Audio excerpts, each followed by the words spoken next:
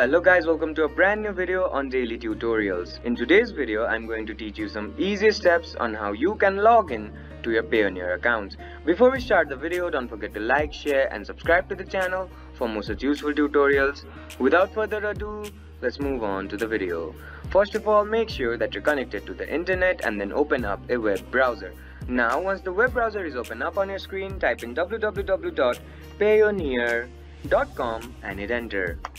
After the home page of Payoneer opens up on your screen, on the top right corner of your screen, you'll see this sign in option. Go ahead and click on it. Once you click on the sign in option, you'll be guided to another page. Now in this page, on the left side of your screen, you'll see a tab. Now on this tab, you'll have to fill in some credentials. If you don't have a Payoneer account, you can simply click on the sign up option which will guide you to another page. In that page, there will be a registration process where you'll have to fill in your details to sign up to Payoneer. If you have a Payoneer account, you'll have to fill in your email or username here, your password here and then click on this sign in option. As you can see on my screen, once I click on the sign in button, if I fill in my credentials correctly, I'll be automatically logged in to the Payoneer website. I hope this video helped you to log into the Payoneer website. Don't forget to like, share and subscribe to the channel for more such useful tutorials. Thank you for watching.